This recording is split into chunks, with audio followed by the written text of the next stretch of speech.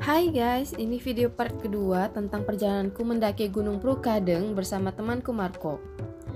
Kami berhasil sampai ke puncak Prukadeng. Sebelum kita lanjut, mohon support channel ini ya dengan mengklik tombol subscribe-nya. Terima kasih atas supportnya guys.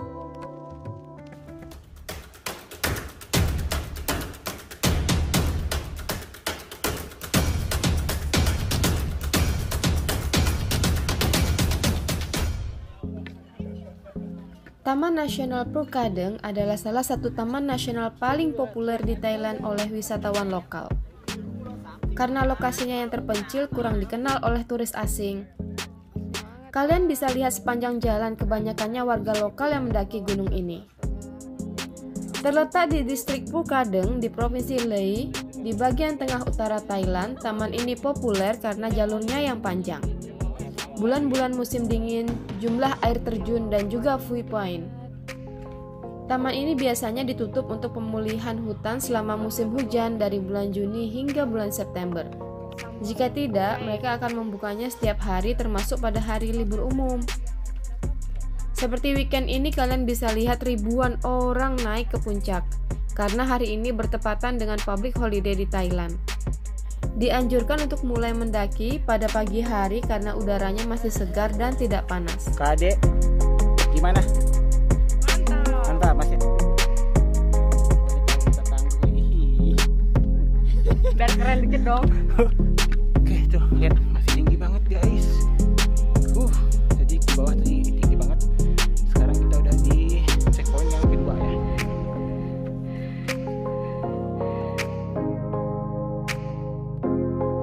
Biaya masuknya untuk warga asing sebesar 400 baht untuk dewasa dan 200 baht untuk anak-anak.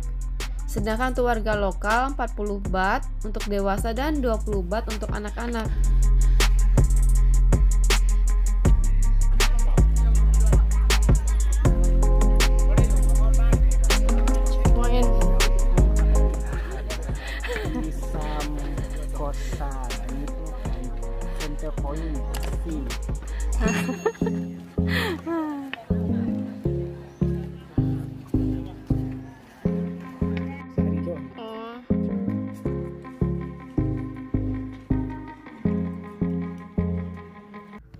Dikarenakan tidak akan cukup waktu untuk mencapai puncak gunung tempat berkemah di atas sebelum hari gelap, maka pintu masuk pendakian di bawah tutup pada pukul 2 siang.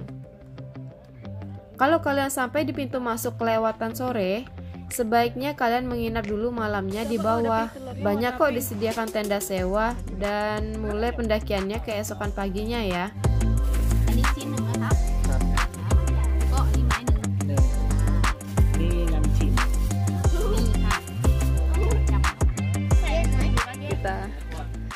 Makan dulu. Makan dulu. Guys. Asal-asalnya ini panas lagi dingin. Iya. Kalau makan, kalau makan.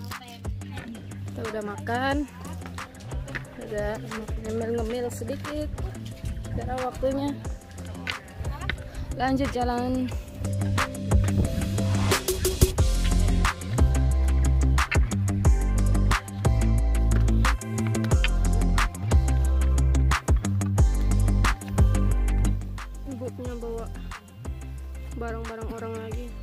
Per kilonya 30 baht ya? Gak tahu. Iya, kalau nggak salah per kilo 30 baht Sebanyak itu. per kilo.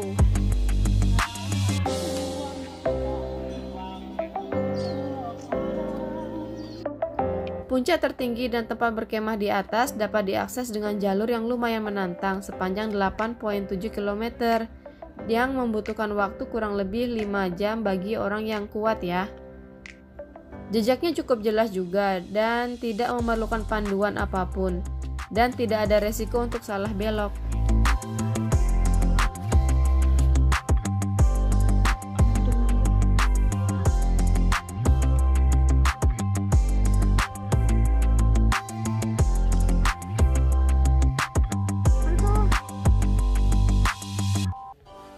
Satu checkpoint lagi kita sampai di top of Prokadeng, Prukadeng.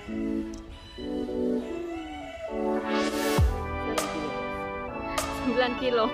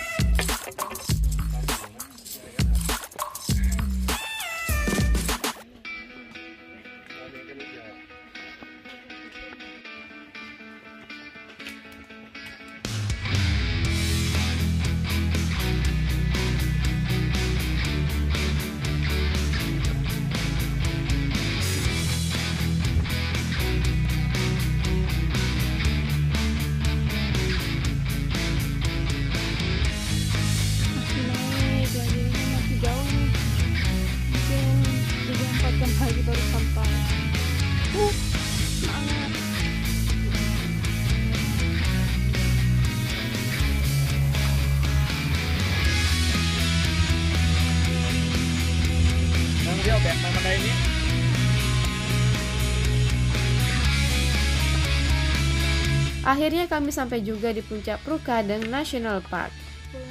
Dari sini kami masih harus lanjut berjalan menuju perkemahan. Yang paling atas untuk foto di apa namanya? Di batunya itu kita harus ngantri. 6 jam. 6 jam sekitar 6 jam ya. Iya, 6 jam. Hai, Assalamualaikum. kita lagi di top. Gimana? 6 jam. Di 6 jam hiking dari Puro Santer sampai top dan kita masih punya 3.500 meter lagi sampai camping ground Dua- setengah jam Setengah jam ya, Du? cuma itu, itu datar Oh, oke oke. Jadi nggak ada naik-naik lagi ya. harus coba Tadi yang terakhir parah sih itu sampai berapa derajat ininya? Kemiringan. 80 derajat nih, Iya, ini apa namanya? tangganya Iya, bahaya banget. Makanya tadi terus ngantri lagi. 사랑한다.